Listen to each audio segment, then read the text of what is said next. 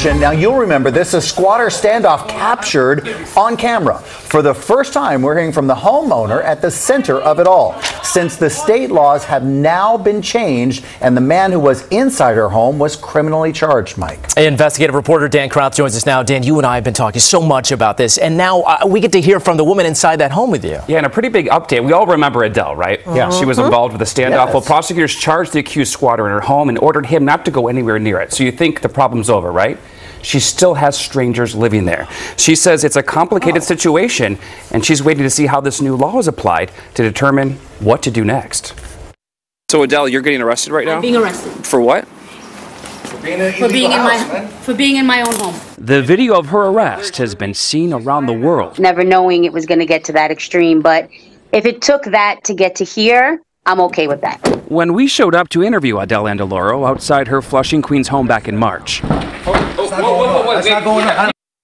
we did not expect the accused squatters to show up or that she'd be put in handcuffs for changing the locks.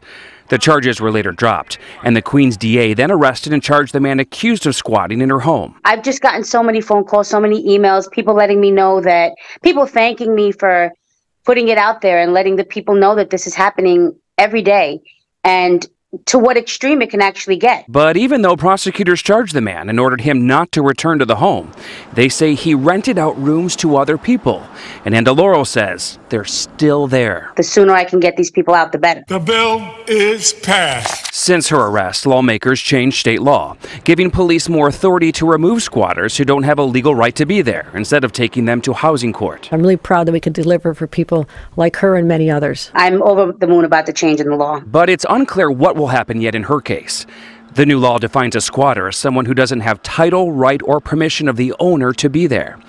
It's unclear if that includes people renting out rooms from an accused squatter. So now I'm kind of just waiting it out for a couple of days before I take any action to see if there's anything I can do that maybe will shorten the length of the process for me now that the law has changed.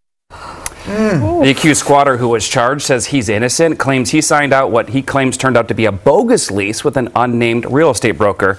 He will be back in court next month. We'll track that, and we'll also, of course, track to see what happens to Adele. This is so unique, and it sounds like another gray area that has emerged from this. You know, the person who signed the lease from the person who was acting as the homeowner but wasn't actually the homeowner. It is. I have a feeling this will be taken care of fairly soon. Adele's afraid to go back to the home. Yeah. So she hasn't seen for herself because we saw what happened last time. Oh, yeah. So we'll keep you posted. And I have to thank the viewers. I wake up every day to at least a dozen emails from people saying they're in a similar mm. situation. Oh. In fact, I walked into a building yesterday and a security worker told me his family has been dealing with a squatter situation, three squatters for about 11 months. No. And once the news broke last week that that squatter was criminally charged, they disappeared and they haven't come back. Wow. Literally, that was mean, one that- of the uh, best things I could hear. It made my day. them. No, So- congratulations. I know it's been a lot of hard work and more work to do. By the way, to see all the reports that you've done, ABC7NY. Dan, thank you. Thank you for having me.